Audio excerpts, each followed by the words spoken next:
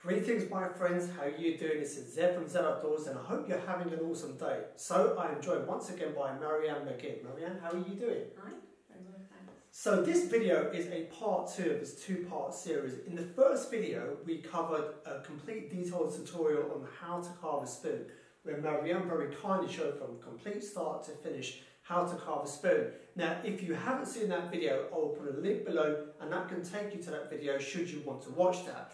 Now this video is a part two leading on from that. Now Maryanne is a full-time professional green woodworker. She's been working with wood for most of her life and she's been teaching it as well as kind of doing it herself.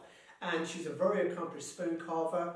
And so in this video, what I thought would be a great uh, thing to do would be to look at some of the techniques that Maryanne deploys in her spoon carving to uh, decorate her spoons, to create some kind of embellishment. So we're going to look at maybe two, three different techniques uh, and just to give you an idea to make you start thinking about the things that maybe you could try out in your spoon carving. Now, would you say that obviously these techniques can don't necessarily have to be restricted to spoons? They could be uh, essentially used in green woodwork in general, you know, uh, whatever it is that you're carving. Um, so this is kind of give you kind of a bit of creativity. And even for myself, I've not really played around too much with decoration of spoons and green wood. And so for me as well, I'm looking forward to actually filming this. So as you're watching this video, I'm learning also as I'm filming it. So with your kind permission, Maryanne, what we'll do in this video, we'll proceed to look at some of the decoration techniques that Maryanne deploys in decorating her spoons. So Maryanne, for the first technique, um, is sometimes I've seen it being referred to as flutes, um, kind of like a gouging technique. Um, so with this technique, first of all, let's look at the tool that you're using. It's not anything I bought specially, it's something I found at the bottom of my toolbox. So it's got a slight curve on end, hasn't it? Yes, it's a sweep. It's called a sweep. And that means that the tool won't get stuck in, it'll work its way out. It glides on this curve at the back there. That's beautiful. It's beautiful tool, that isn't it? Very nice. So with this technique, let's talk, talk me through then. Well, I've um, almost finished this spoon. I haven't quite done the finishing cuts, but I've put these facets on top. You can either do that or you can have a rounded surface. If you've got facets, then you've got a line that you can follow, and if you've just got a rounded one, you have to put your own lines in like that, however you're going to do it. So would this also correspond to the width of the gouge that you've got? Um, well, if you've got wider spaces there, then you just have to do it more than once and you get a wider groove, Mm-hmm. but it's more fiddly. It's nicer to have. And is it needless to say that you ideally you want to do this when the wood has dried a little? Yes, it's um, sometimes I I do part of it while the wood is fresh because it's easier to move the gouge along. But obviously you don't get a clean cut, so I sometimes just establish where the grooves are going to be and clean them up when the spoon's dry. You get a very nice finish then. Because it, obviously when the spoon's hard, it's it's more difficult to control the tool. Excellent. So to start off then, what would you be doing? Well, because this is very, this is at the end, and if you're holding it there, the chances are you're going to dig in to your hand. So I'll probably just try and start it off like this, if the grain allows, because it would be very painful. I can start it like that. And with most um, grooves and decorations like this, you kind of want to start. So with this one, just to kind of recap, you are actually bracing it, aren't you, against the end? I'm bracing against there. Normally I would do it on my lap like that, and I can hold the chisel against my stomach. And in fact, if I breathe out, it's quite good. Extra power, like that. But holding a spoon like that is a, it's a bit awkward, so I often do it. You've got to make sure your hands are behind the tool. I mean, it's asking for trouble to do it like that. So I sometimes do it like this. This is most often how I do it. I work my way down to the front. Like that. And I sort of get them a bit deeper.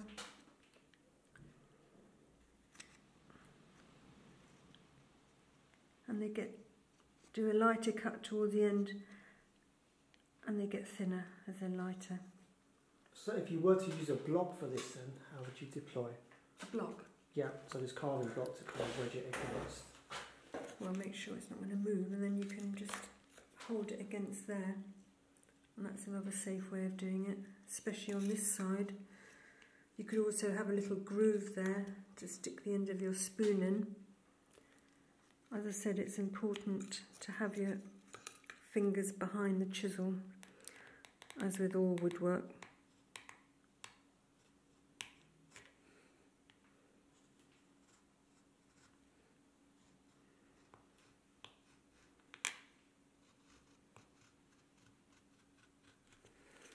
like that.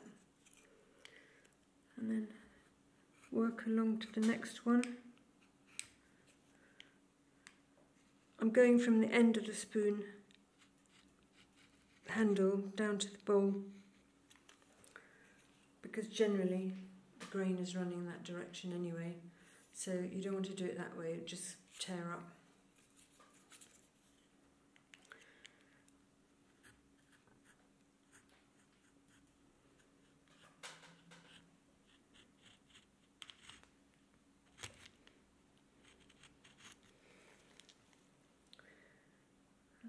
Another one in the middle here.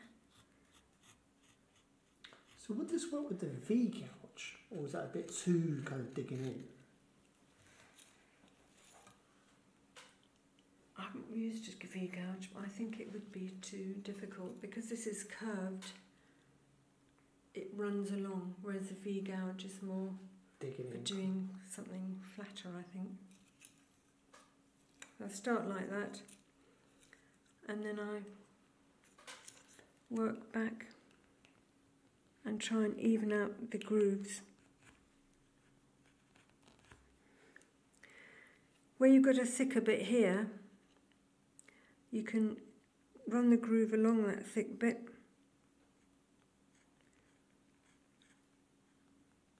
And it evens out the shape.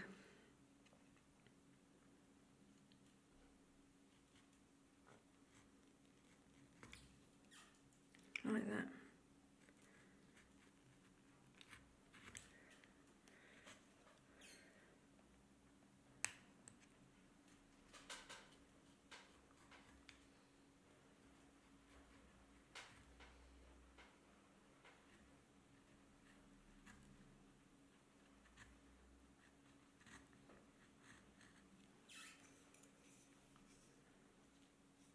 So I'll the whole time you're making sure you're going with the grain, aren't you? So you're making Yes, sure you're focusing. Definitely.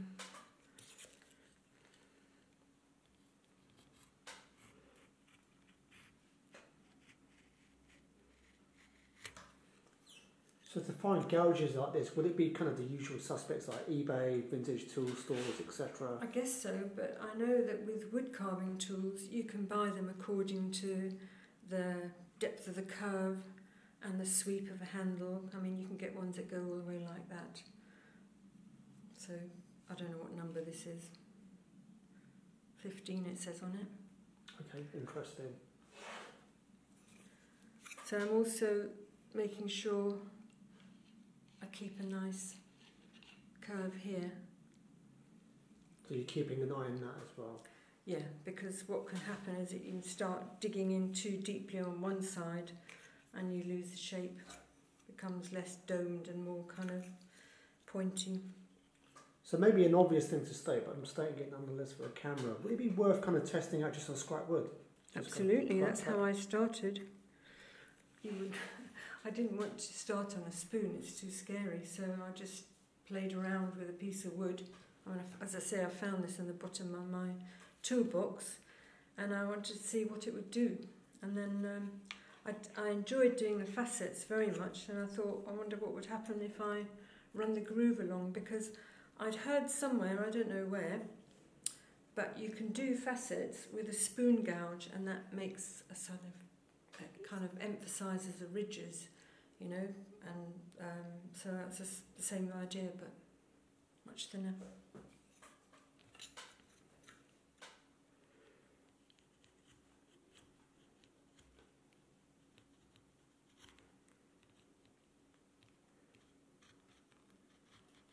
Got to control it with your thumb because it can run away.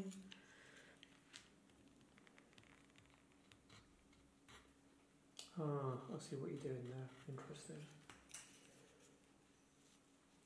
And I'll just work around, start at the sides and end up at the top. So to get that kind of taper effect at the at the edge, you're kind of lifting it up as you're. Yes, apply, applying less pressure. But also, I think if you start at the bottom and then work to the top, then you can layer the grooves. So the, the, the top groove will be the one that you see first.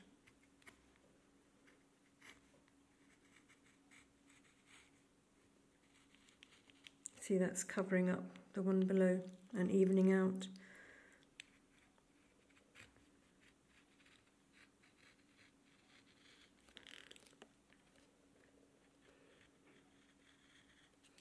Like that.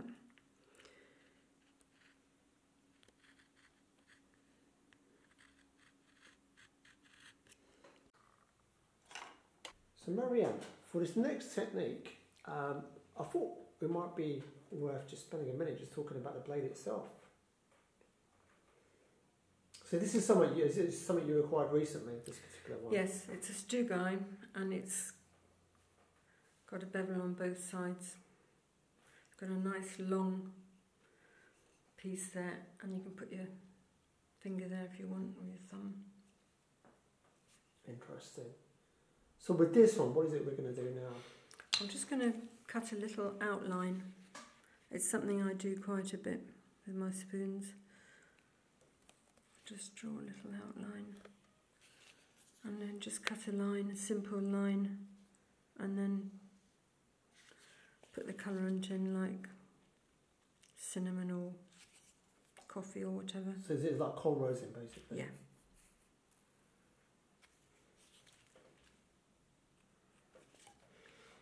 So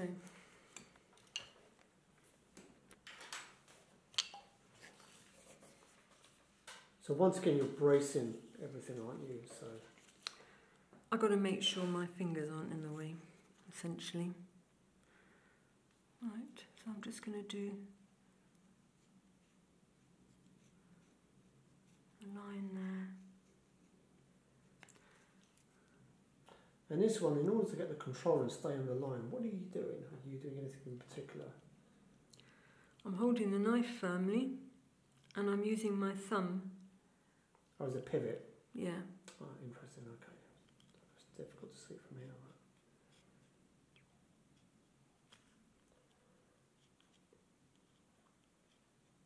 And you apply like a downward pressure as you bring it. yeah.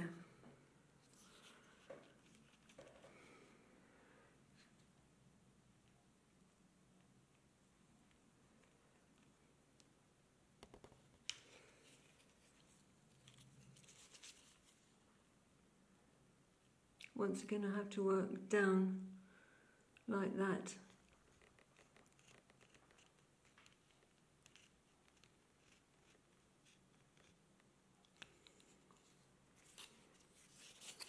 So because of the tip of the blade is, is pointing down, this helps, doesn't it, with this technique? Absolutely, yeah.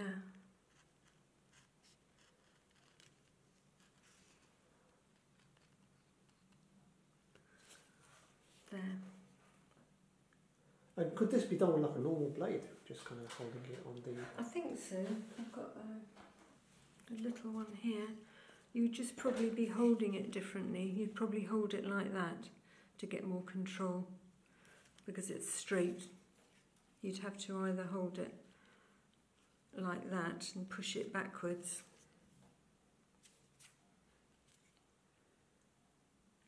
Mhm. Or I sometimes run my finger against the spoon edge like that and get a line like that. These ones are quite readily available, aren't they? These particular ones. This one, Yeah. bottom of the toolbox again. We to start looking at your toolbox more. but this one that you were using just here. Um, This is a specialist one, yeah. It's Dugai. perfect. So that's the score, and then the next step would be what? To put cinnamon in. Yeah.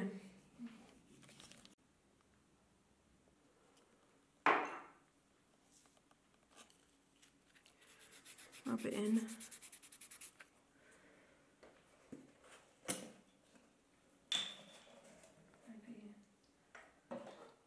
Add a drop, drop of oil. What kind of oil do you use? I'm using walnut oil because it's it's um, light, and I can see I haven't joined the lines up, so I'll just go a little bit further. There we are.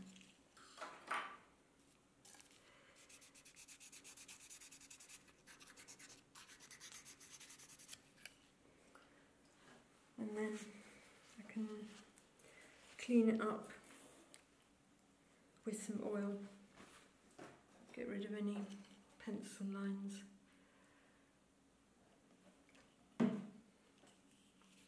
Is walnut oil your preferred oil for finishing generally? Uh, I do. It's lighter. I know the lin- linseed oil gives better protection.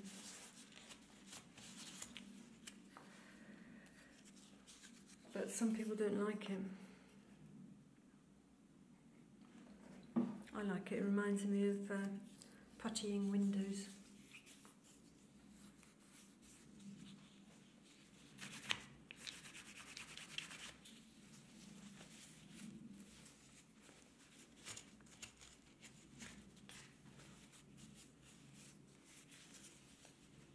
So this basically locks the cinnamon in, doesn't it? Yeah.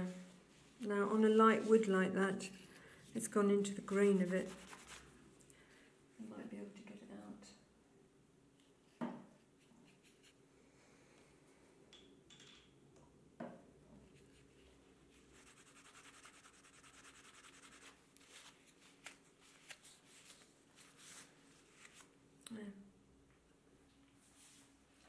Half of the handle, the same thickness as the middle of the bottom half there, and then they veer out.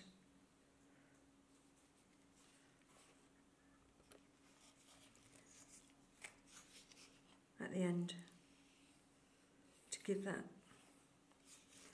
characteristic split end. So what Maryanne's demonstrating here is something she does a lot on her spoons. It's a beautiful effect. Carry the line off across there. I do usually start this when the wood is um, greener because it can be quite hard to cut in there. But we'll see what happens. And I sometimes take it down to there. This finger gauge is really useful. So you're using the same blade you were just using earlier. Yes. So I'll start here.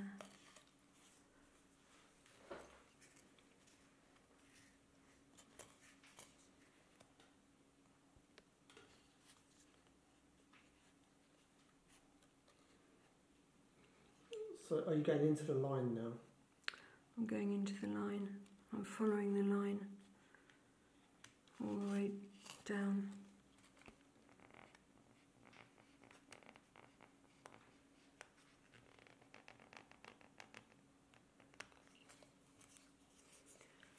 And then I'm going to do the second line here So they're going into it at a V. at an angle. So Just create like a to V. make a yeah? V, yeah.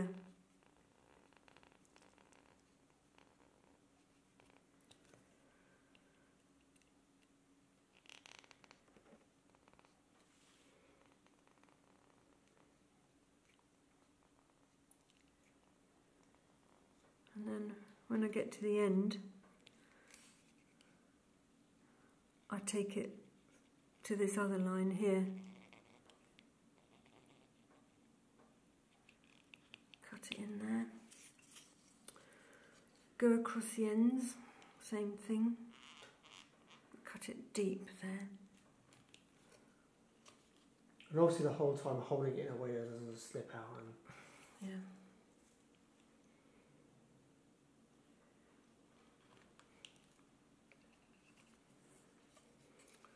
And then the same thing again here.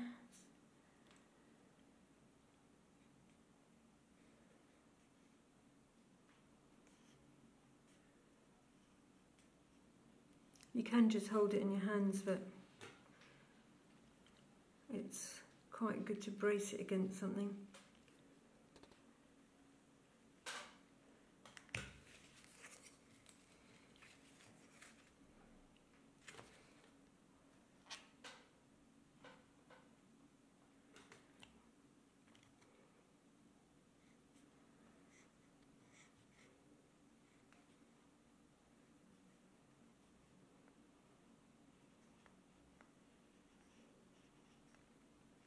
Takes a bit of practice to be able to run the lines straight. But if you keep at it, you get there in the end. There's the bit that comes out there. And a bit that comes out there. Now this bit, it's a bit more tricky.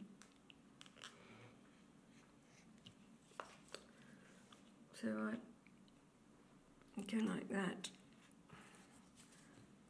And So that. what are you doing? You're carving a, a carving deeper a V. V, yeah. Deeper V, okay. So the idea is that it should join up with the the V that you, the little V that you cut down the side.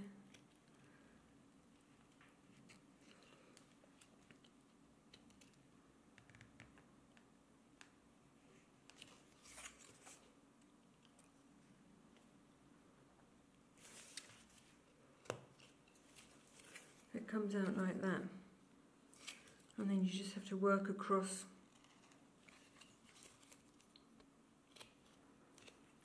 Sometimes I do this with a knife.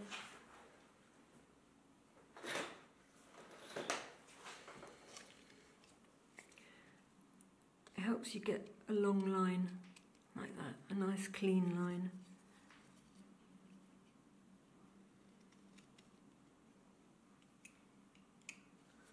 Like that. So it looks like the top half is split from the bottom half, but all it is is a little line cut down there. Ah, beautiful. And then I sometimes paint inside there, so it's a different colour, or paint the top half. So we have a few here as examples you've done before to kind of illustrate the finished article. That's one I've done with kolrosing on the top, and then the split end there. Ah, I see what you mean. And then you just painted that split Yeah, end. I just painted that line with a tiny, tiny brush. Is that at the bottom of your toolbox as well? It is now. and this one here, I've done the same thing, and that I've just run another line around the edge and notched it out there. And then that one was from a crook, so it's got a wacky curve on it. I've done the same thing, and then I pierced it there. Ah, interesting. So you've a hole. Oh, nice. And that. It's a good way of emphasising the hook.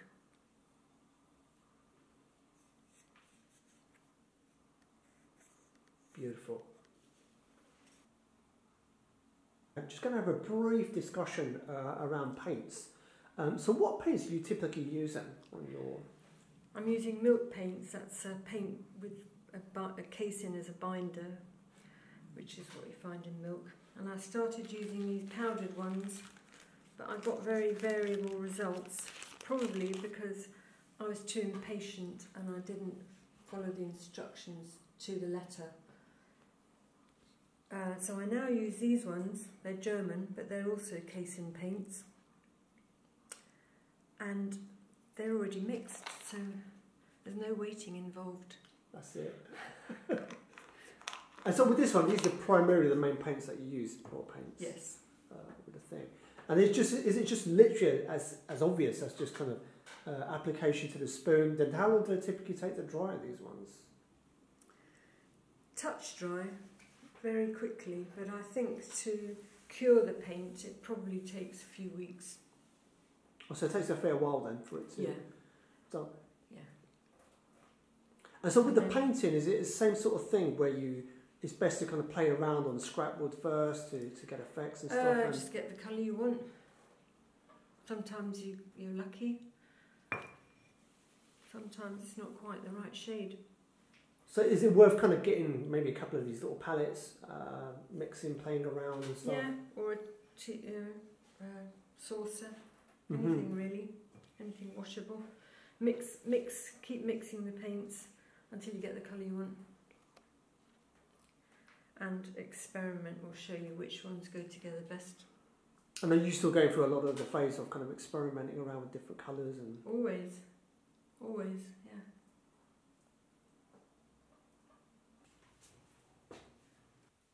So there you go, my friends. That is a wrap for this video. Maryanne, thank you so much. So as we mentioned earlier in this video, this video is designed to just give you a bit of an insight into the creative ways in which you can embellish your spoons. And really, these principles can be applied to any form of green working within reason. Um, so the goal with this is to kind of give you some ideas into things that you can start experimenting around with.